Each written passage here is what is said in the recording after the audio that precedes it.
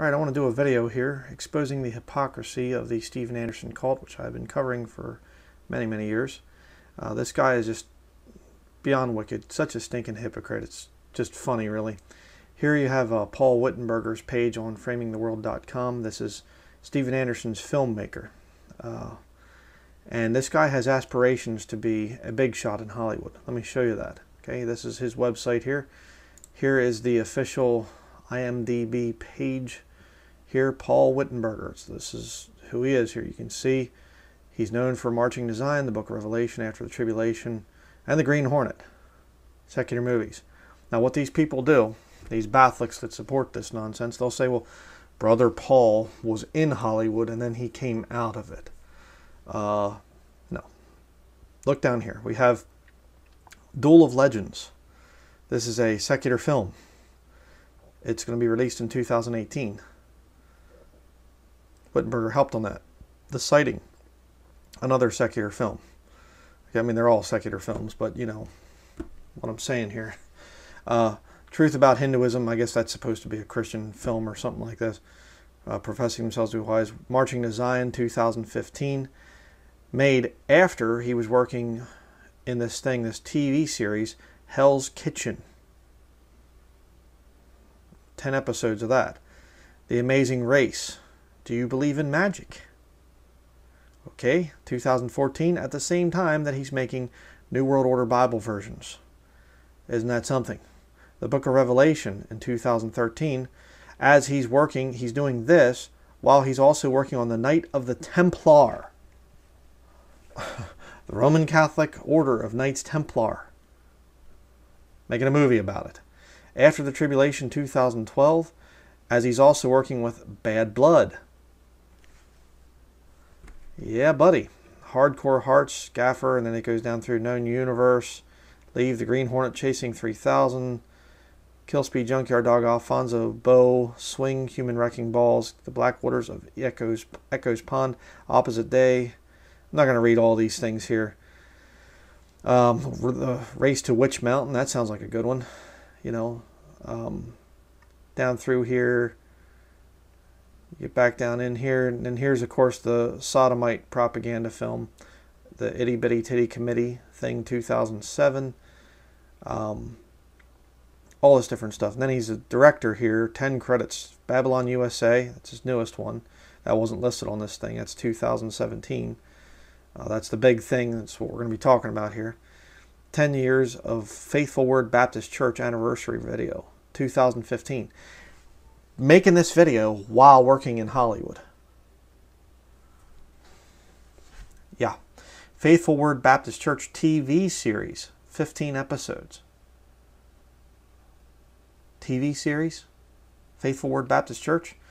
Marching to Zion, this is the stuff he's been a director of. There's all the different things um, going down through there. Producer, Babylon USA. Again, that one. Book of Revelation down through there. Cinematographer, down through there. Editor, again, these are his videos. Uh, sound department, writer, uh, miscellaneous crew, crank. That sounds, I don't know what that's about, but you know, all these down through here. You know, so again, this is his official film career page.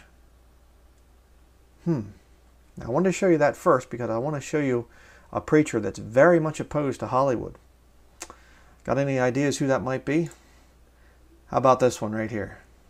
Let's just listen to what old uh, Pastor Anderson has to say. And you need to think about this too, by the way, if you're a follower of this guy. Look at the hypocrisy.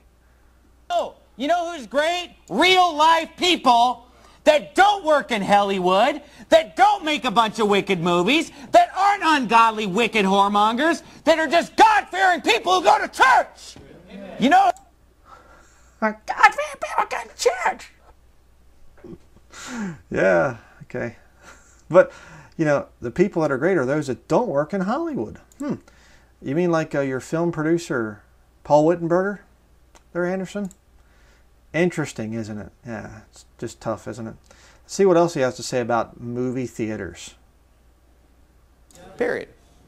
End of story. Because every movie that they come out with And, and, and, sometimes they'll even come out with a really good movie that has a good message and everything's great, but there'll always be one thing in it that's really bad. And really, the devil just uses all the good stuff in the movie just to get you in there to see that pornographic scene or, you know, whatever it is that slipped at what the agenda, the message. I wouldn't trust Hollywood to just educate me and just put whatever garbage in my mind. That's why I don't believe that you should watch TV, you shouldn't go to movies, because it's just all programming of this world and of Satan. But I read up on this Noah. Talking about this Noah movie that came out years ago. But this is uh, 2014, April 11th, 2014. You shouldn't go to movies, you know, that's just wicked satanic agenda. Well, I agree with that. And uh, their movie is one of those this Babylon USA thing. I mean, think about this for a minute. Babylon USA totally excuses the Roman Catholic wickedness that they did and are still doing to this very day. The Roman Catholic control through all their knighthoods, through the Jesuit order, through all this horrible stuff that's always going on. It's says, well, yeah, the Vatican's bad, but the real enemy is America. You know, And forget the tens of millions that have been of Christians that have been slaughtered by Roman Catholicism. Well, yeah, let's just that's bad, but America is the one that's going to get wiped out in Revelation 17. He's covering up for the Vatican. Let's see a little bit more here. Again, shouldn't go to movie theaters. You know, it's you know, and he said earlier in that one about Noah, he said about how he hasn't been to a movie theater in many, many years and things. Know, actually, let me let me show you that real quick here. I think I have it written down the time stamp of that one. 19 seconds into the thing, I think. Right about here. Because I've seen enough Bible movies to know that they have nothing to do with the Bible. I've seen enough Bible movies to know that they have nothing to do with the Bible. Again, speaking very well of his, his own stuff. But listen to what he says here. This is uh, that was three years ago. Now you have May 15th, 2017. We're planning on playing it at the movie theater here in Tempe, Arizona on the 4th of July, which is obviously the perfect date to come out with a movie called Babylon USA. And you can watch the whole video, so I'm not taking him out of context. He is, oh, we're going to be playing this in the movie theater. What changed? I thought you didn't go to the movies. I thought that, you know, preachers in the past, Baptist preachers especially, would preach against the movie theater. Hmm. See, there's an agenda here to get his followers into movie theaters. Don't tell me that there isn't. Watch this here for a little bit. Hello, I'm Pastor Steven Anderson of Faithful Word Baptist Church, Tempe, Arizona. Hey everybody, Pastor Steven Anderson here from Faithful Word Baptist Church in Tempe, Arizona. I'm really excited about the release. Same intro all the time. It's programmed of our new film, Babylon USA. It's really close to being done. Mm-hmm. I've watched the rough draft of the film. It's awesome. And so I am really excited about this thing finally getting out after all the time and, and effort that's gone into it. Well, July 4th is the release date that we're shooting for because obviously the 4th of July is a perfect date to release a film like Babylon USA, and I'm confident that it's going to be done by then. So here's how the release is going to work for this. When the movie's just finished and, and we have it in hand, the first thing we're going to do is play it at a theater here in Phoenix. We're trying to do that on July 4th itself. We were having a little trouble booking a theater on a date like July 4th because it's a holiday, but that's what we're striving for. Otherwise, it'll be within a few days of that. But we're going to play it at a theater here in Phoenix, Arizona. Then We've also booked a screening for it at a theater in Toronto, Canada, August 5th. And that's about that's exactly right around the time when the DVDs are going to ship out as well, because the movie is going to be finished uh, at the beginning of July, but it takes time to manufacture the DVDs. So it'll be in a theater in Phoenix, 4th of July, and then DVDs will ship out uh, very beginning of August, like August 5th.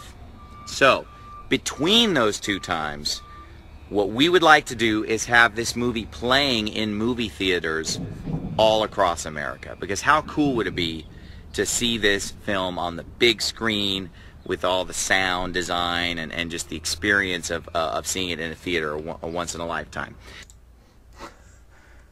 So let me get this straight. They're following the Hollywood script of doing things. it's going to be in theaters and then the DVD will come out later. Theaters, we want to get this thing in theaters all across America. Do you see how you're being conned, followers of Steven Anderson? Do you see how Paul Wittenberger, the professional Hollywood guy, is literally conning you people? Baptist preachers in the past opposed movie theaters. They opposed the whole Hollywood industry. But now you get, oh, uh, you know, we, we got to get this into theaters all across the country. Try hard to get it into theaters near you. Does it register? Still not yet, huh? Babylon USA, the official trailer in theaters July 4th. Just like Hollywood does it. I mean, what's next? Um, I think that we're going to start to sell the, the DVDs in porn shops because we can reach more people. I mean, can you wake out of this if you're one of Anderson's followers? Here you have, you know, the great pastor in the theater. Hey everybody, Pastor Steven Anderson here from Faithful Word Baptist Church in Tempe, Arizona. We're at the Super Cinemas 8 up here in North Phoenix for the first of two showings today for Babylon USA. As you can see, the theater is packed out here. Uh, this is only half of, of the group because we have half the people watching the movie at 5 o'clock, the other half are going to see it at 7 o'clock. So, really excited. This is the premiere. I mean, this is really the first time anybody's seeing it besides. Yeah, just in theaters. The same seats that sat people watching R rated movies. And that's okay. It's okay because the lost world can watch you. They can look and they can see, oh, these uh, Christians are going into the same place we go. I mean, just just play it in bars, play it in strip clubs, play it wherever. There are no, there is no good or evil anymore. I guess apparently you just, you know, do evil that good may come. Let me show you the scripture on that real quick. Romans chapter three, verse eight says about, and not rather as we be slanderously reported, and as some firm that we say, people are lying about Paul, saying that Paul's saying this, and it's that's not true. This is not what a Christian says. Let us do evil that good may come. Let's go to the movie theater. Let's do things the world's way. Why? So that good may come. Hey, we'll wake up somebody. Maybe somebody will get saved. Let's get into the movie theaters and play our Christian films. And what does Paul say about it? whose damnation is just. Anderson's going to take you to hell with him, with his false gospel and just so many points he lines up with Roman Catholicism. And here he's making a whole film, a whole propaganda film, covering up for their crimes. The blood of the martyrs that have been shed by the Catholics for centuries. And now it's just, oh, excused, it's all America's fault. just makes me sick to my stomach. And by the way, let me uh, just share another little scripture with you here. Let's go to 1 Thessalonians chapter 5 and verse 18. No, no, no, no, no, excuse me, not that. Verse 22. Abstain from all appearance of evil. Um, going into a movie theater is the appearance of evil. Don't tell me it isn't. I mean, how can you witness to some lost person and say, hey, you know what, you need to stay away from movie theaters and things like this? Well, I saw you there. You had a whole event there. You know, here, here's Ander Snake and movie, movies behind him and stuff. Captain Underpants right there. Just let's hang around and just talk about how America is Babylon now. And this wicked, wicked, horrible place. And don't tell me that they're not giving them money that this movie theater isn't making money off of this. You know, Christians in the past would have stood outside of movie theaters and said, Don't you dare go into that place, and prayed for God to shut down the movie theater. Oh, but now we can go in and we can we can play our Christian films there. You need to wake up. And here you got this guy. This cracks me up. The Brother Manley here. He's another one of Landell Andersnake's little preacher boys. Check this out. Listen to what he says. All right, we are going to be going soul winning and following. We're going to break for lunch. Uh, so the movies probably, you know, go from 10 to 12, we'll break for lunch, and then we'll go soul in a couple hours. good opportunity for you to come out and see a good movie for free and uh, get some soul winning done. So I hope you'll come visit with us. All right, thank you so much. Have a super day. so, let me get this straight. Come to the movie theater to watch a stupid, ridiculous propaganda film for the Vatican, you know, covering up the Vatican's crimes, and then they're going to have lunch, and then they're going to go soul winning. Because nothing gets you in the mood for winning souls like going to a movie theater. I mean, you know, truth is, is stranger than fiction. You ever heard that? You know? I mean, yeah, yeah. Baptist, we're conservative Baptist, brother. You know, Old Path Baptist Church, Old Path Baptist Church here.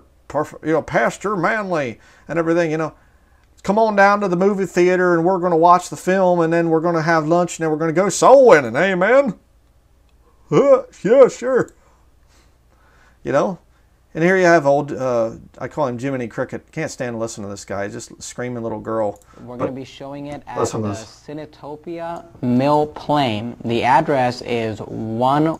Cinetopia. We're going to be showing our Christmas, our, our Christian, oh, Christmas. We're going to be showing our Chris, Christian film at Cinetopia. Because that's important, you know. It's very important. You know, there's another one, Babylon USA, Richmond, Virginia, premiere, you know, all this stuff. Here's what it's about.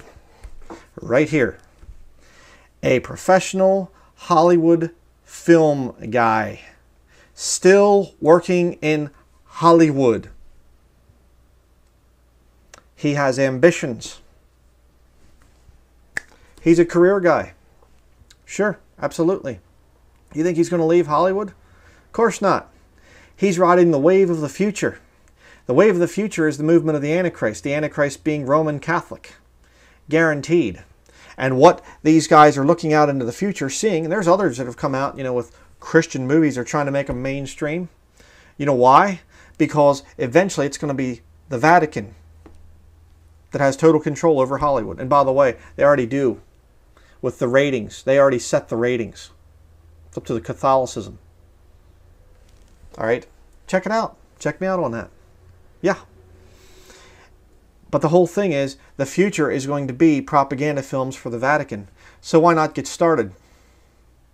Why not get started as a independent Baptist? Coming out making films, working for Hollywood, Hell's Kitchen, while producing a Marching to Zion, the propaganda film against the nation of Israel, the Jewish people, using clips from Nazi Germany's The Jews and Their Lies. Wait, you better wake up to this whole thing. Baptists years ago wouldn't have stood for this. I'm not I don't even call myself a Baptist. I used to, but I don't even call myself a Baptist. I'm a King James Bible believing Christian. That's what I am. But I'll tell you right now, I know about old time Baptists. I studied under them. I've met some of them. I've listened to them, their sermons, I've read their books. And Baptists years ago, Methodists years ago, would would try to shut down theaters, movie theaters and things like that.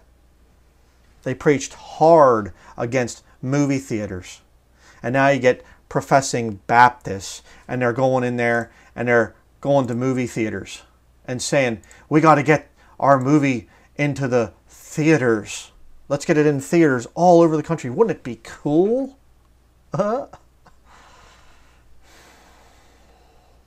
You better get away from Steven Anderson. I've been warning people for years about this guy. He's a fake. He's a fraud.